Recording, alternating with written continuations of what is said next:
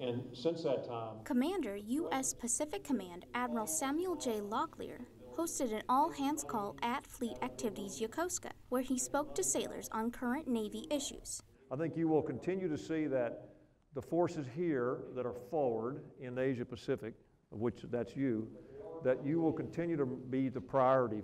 During the call, Locklear discussed the progress of the DoD's rebalance to the Indo Asia Pacific and what sailors in the region can expect. I'd say it helps us still feel like we're actually important still and we actually do matter and what no matter what our rate or rank is This all hands call gave sailors a chance to learn and discuss the Navy's maritime strategy. Petty Officer Sonia Wickard, Yokosuka Naval Base, Japan. We're going to be positioned